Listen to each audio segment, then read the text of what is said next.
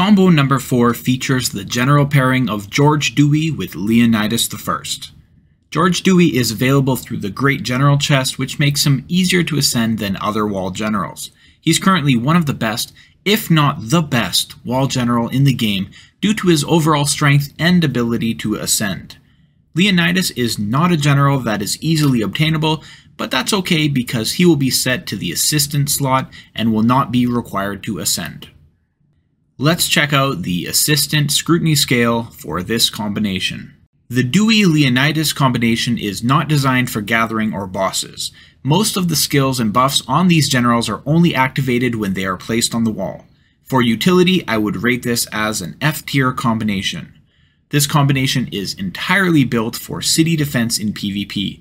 As mentioned earlier, both of these generals are extremely effective on the wall.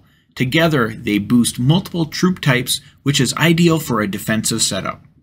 Dewey's skills and specialization improve siege and archers, while Leonidas heavily buffs ground troops. For PvP combat with a focus on defense, this is a killer combination, and I rate it S tier.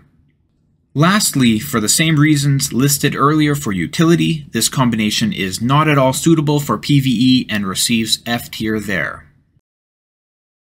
Dewey's skill, Ocean Squadrons, increases in-city mounted troops HP by 15% and in-city ranged and siege attack by 20% when placed on the wall.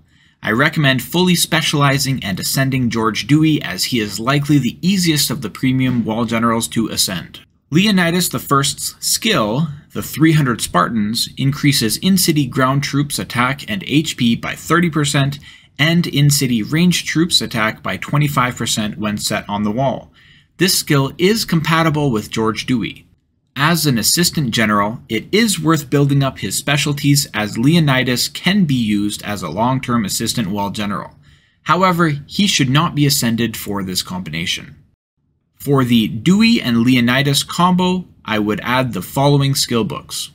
Ranged Troop Ranged Bonus, Siege Machine Ranged Bonus, Siege Machine Attack, Mounted Troop HP, and your preference of skill books that buff either ground or ranged troops.